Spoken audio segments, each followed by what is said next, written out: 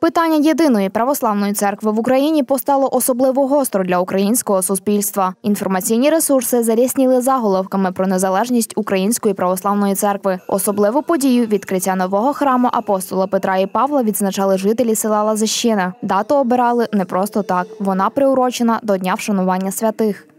Сьогодні ми зібралися тут на е, таку особливу подію, історичну подію, яку довго, яку якби довго чекав цей гуцульський народ. Це подія, це е, відкриття величного храму, собору на честь перво- первоверховних апостолів Петра і Павла. Свято розпочалося з традиційної святкової божественної літургії.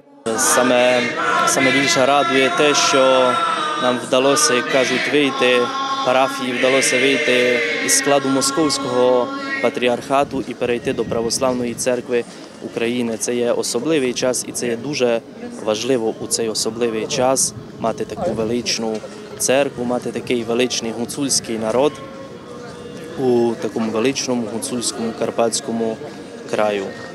Будівництво храму проходило більше 20 років. На урочистій події говорили про першоджерела заснування та початки української церкви на теренах гуцульського села.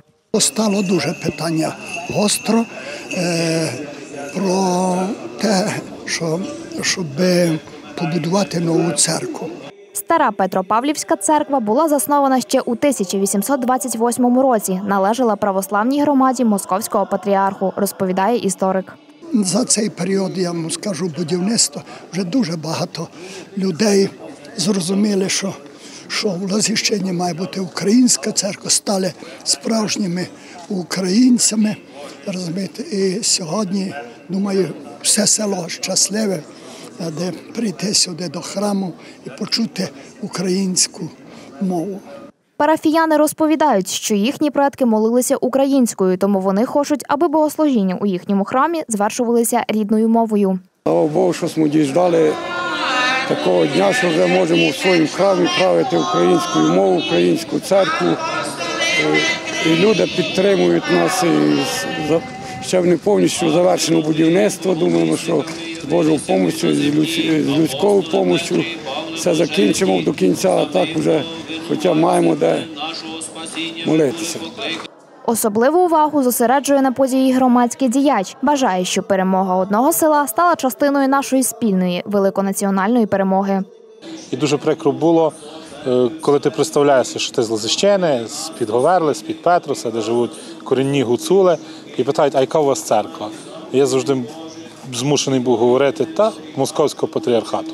І сьогодні душа радіє, бо е, нарешті наше село отримало українську церкву, і, і нам вже буде не соромно говорити в українцям і на цілий світ, що ми маємо московську церкву. Не можемо дивитися в очі один другому і казати, що ми воюємо проти російського агресора, але ходимо до російської церкви. Це абсолютно неможливо. І тому сьогодні маємо велике свято, велику радість, що Лозищина в лоні Української православної церкви. Враженнями від заходу та святковими емоціями поділилися місцеві жителі. Це наша найперша церква в селі Українського патріархату. Ми довго чекали, тому що ця церква будувалась 20 років. Е, Тобто ми їздили в сусіднє село, ну щоб е, розуміти молитву. Е, Нам було цікаво, тому що ми комунікували з священником в іншому селі, і ми надіємось також на священника, який в цій церкві буде представлений від нашого села, що молодь також буде разом з ним. Е, участвувати в церковному житті, і ми надіємося, що церква буде процвітати все більше і більше. Я дуже радий, тому що е, нарешті відкрили церкву е, православну українського патріархату. Ми щасливі, що відкрилася Православна церква України. Українська настояща церква. Громада сподівається, що подібні богословські події будуть регулярними і стануть серйозним поштовхом для інтеграції духовної освіти України в освітній простір Вселенської православної церкви.